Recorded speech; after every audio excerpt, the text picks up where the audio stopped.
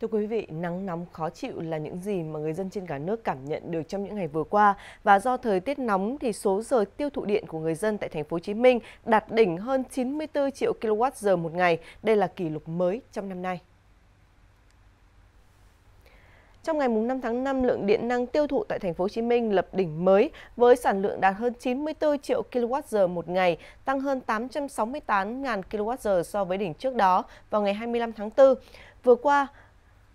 Nguyên nhân người dân thành phố Hồ Chí Minh tiêu thụ điện mức kỷ lục như vậy là do thời tiết nắng nóng kéo dài nên người dân dùng điện nhiều, chủ yếu tăng số giờ sử dụng các thiết bị làm mát. Theo Điện lực thành phố Hồ Chí Minh, đây là sản lượng điện tiêu thụ cao nhất từ trước đến nay của thành phố và là lần đầu tiên vượt qua mức 94 triệu kWh một ngày.